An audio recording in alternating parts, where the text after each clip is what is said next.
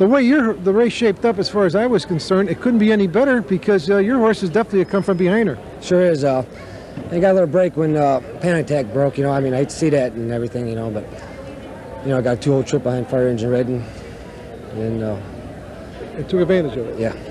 Well, uh, the, when a panic attack broke, do you think that cost her the race? I thought she was a little short in the stretch anyway.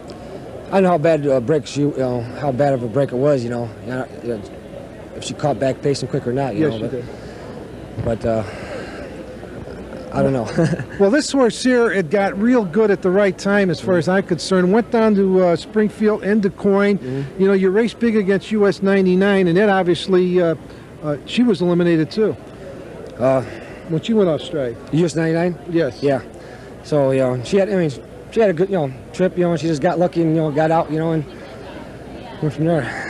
Well, going into the race, did you think you had a shot, or did you think you need a little bit of luck? I thought she had a big shot. You know, if I had the right trip. You know, I mean, a little luck, and And the luck went your way. luck went my way. Got to be the biggest, the biggest win for you. Biggest, yeah, real big. Congratulations. Thanks.